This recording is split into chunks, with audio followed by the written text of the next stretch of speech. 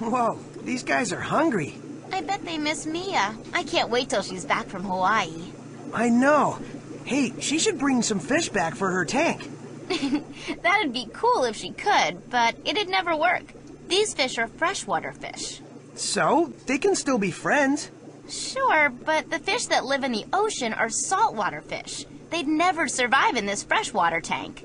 I thought fish just needed water to survive. All fish need water, but different fish need different places and different natural conditions in which to live. Those places and conditions are called a habitat. So, the saltwater fish can't survive in the same habitat as the fish in this tank? No, they can't. There are two different kinds of aquatic ecosystems, saltwater and freshwater. Saltwater fish live in the ocean.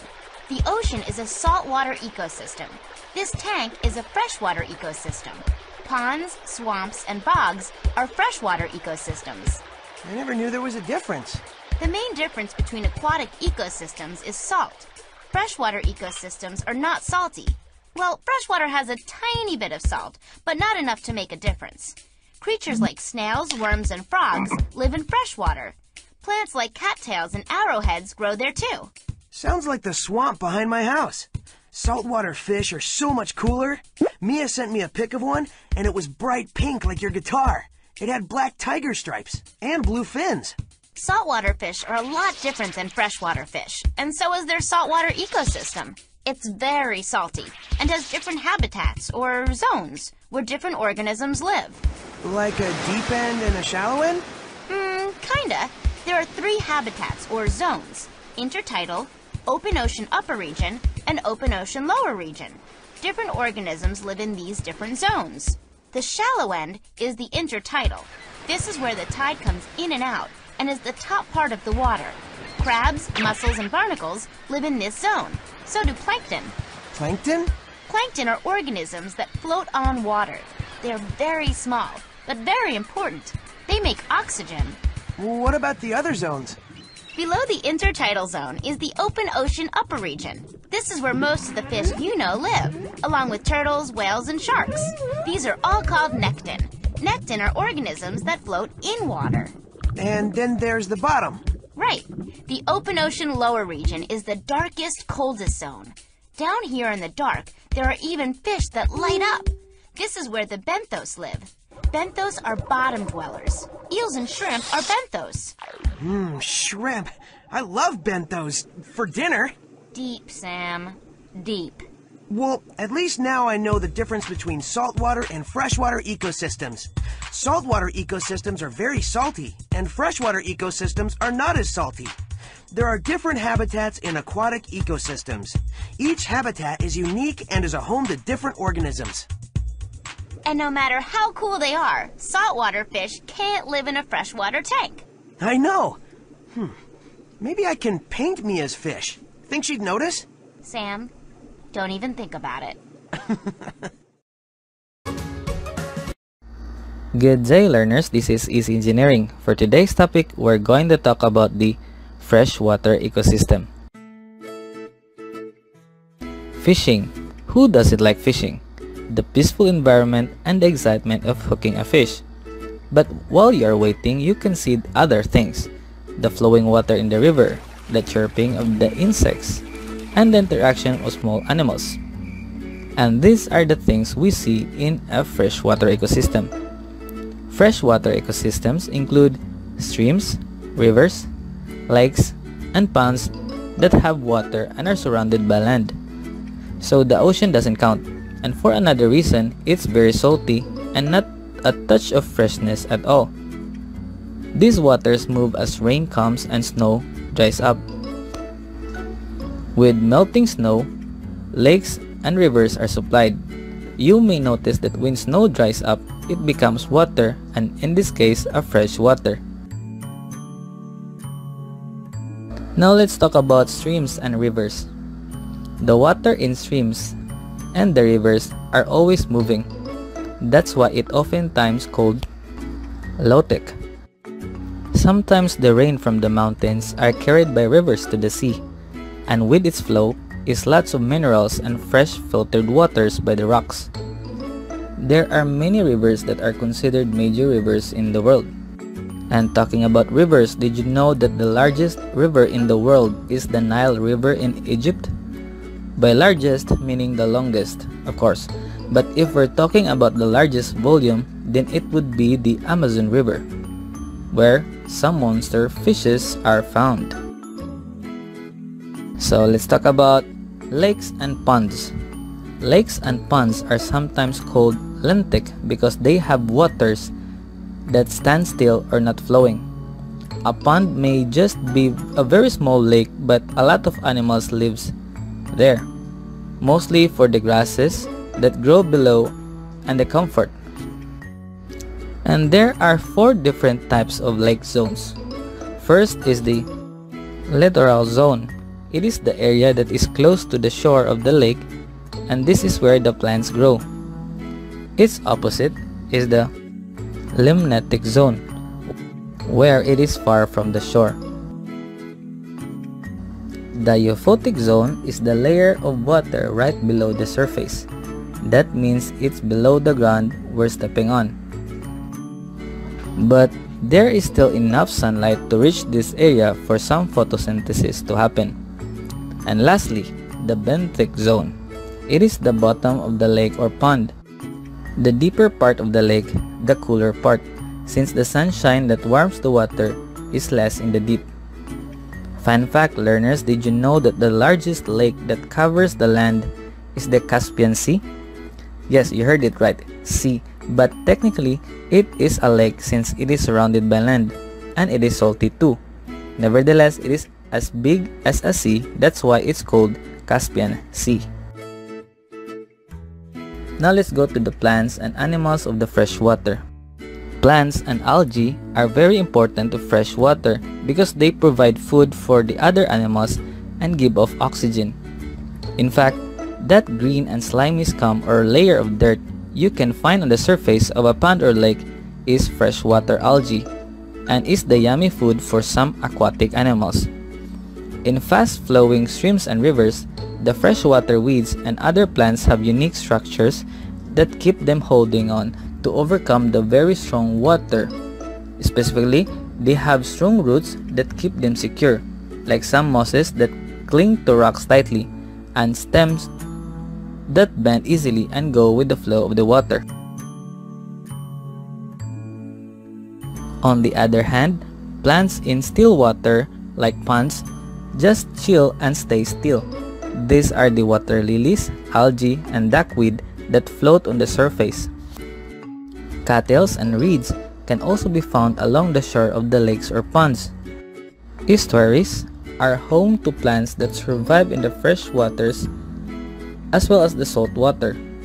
Some of these plants are the mangroves and pickleweed. Fun fact learners, did you know that the largest water lily in the world is the Victoria amazonica? It looks like a very large plate and sometimes frogs just hop on it to chill.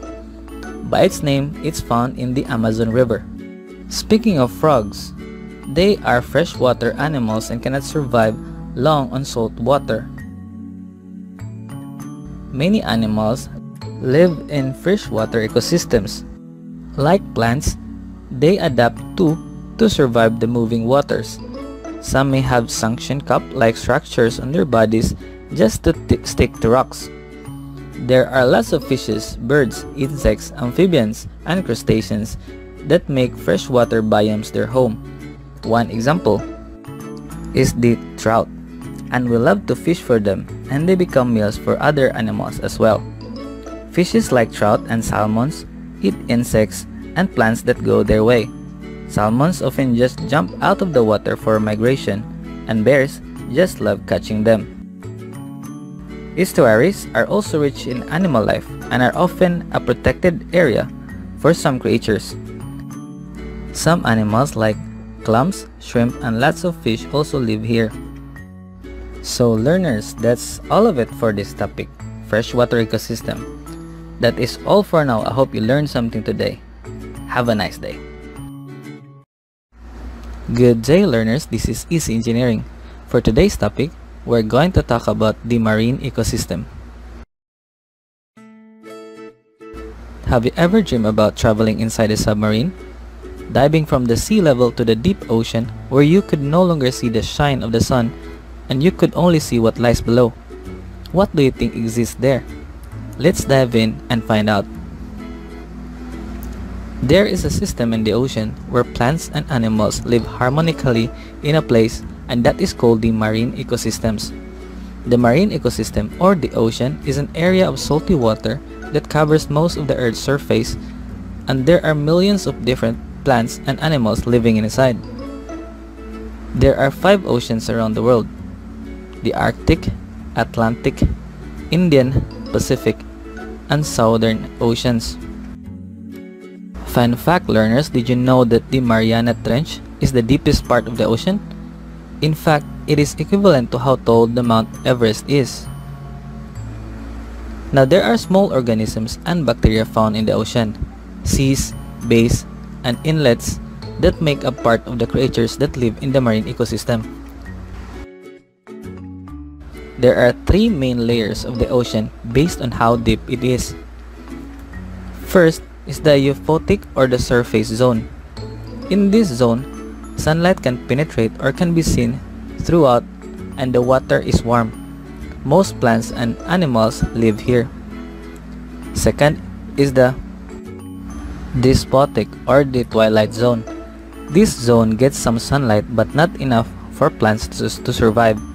And the third zone is the aphotic zone, where there is no sunlight at all. The darkest side of the ocean where unknown creatures could be lurking. Plants serve a very important purpose in the life of animals, but did you know that plants can also grow underwater? Some examples of marine plants are the seaweeds, marine algae, and sea grasses. On the other hand, mangrove trees, which live on tropical shores are also part of the ocean ecosystem. These plants absorb carbon dioxide in exchange they give up oxygen for animals to breathe in. Marine plants live in the top or euphotic zone of the ocean because they need sunlight to create food through photosynthesis. Kelp is a famous type of algae and it provides food and shelter to ocean animals. Did you know that it is even used by humans in things like ice cream and toothpaste? Phytoplankton are tiny plants in the ocean that serve as the food for many ocean creatures like smallest fish and even the largest of whales. Speaking of animals, what animals found in the marine ecosystem? I'm sure there are lots and lots of them that we couldn't even count since the ocean is vastly wide.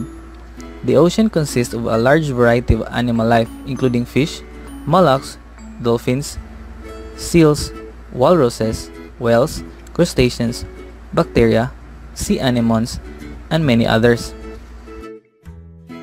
Fun fact learners, did you know that the largest animal in the sea is the blue whale? It averages up to 7.6 meters long at birth and weighs about 3 tons. As an adult, it can easily stretch to the length of a city bus and weigh close to 200 tons. Now back to the topic. Most marine animals stay in euphotic and disphotic zones where they have access to plants and other ocean animals to eat. But deep down below the layers, there is life too, and they might look weirdest animals on earth. One example is the anglerfish. Fishes like this adapt to the darkest side of the ocean. In fact, the anglerfish creates its own light to lure their prey, and when it is close, the anglerfish just gobbles it up in a blink of an eye. We humans use the ocean a lot, whether it's for food, medicines, oil, other resources, or just for recreation like swimming and parties. Either way, we love the things that the ocean gives us. But the demand for resources from the ocean can be destructive to the marine ecosystems. Around the world, bad fishing practices like poisoning and using dynamite to catch fish also kills other animals like corals and small fishes. Overfishing popular species and endangered species are prohibited by law, but some people still do it. Pollution is also harming the marine ecosystem. Pollutants such as fertilizers and household products and even oil spills ruin the beauty of the ocean. For us, there are many simple things that you can do to help protect the ocean, like recycling and making sure that chemicals don't go down your household drains is an easy way to start. Don't throw your garbage into the ocean because fishes eat it and be poisoned with it. So learners, now we've learned important things about the ocean. And that's it. That is all for now. I hope you learned something today. Okay children, that is it for today. I hope you have followed it. If you have any doubts, you can contact me through my number, message me through WhatsApp number. Uh, keep yourself safe, healthy and also study well children. Bye.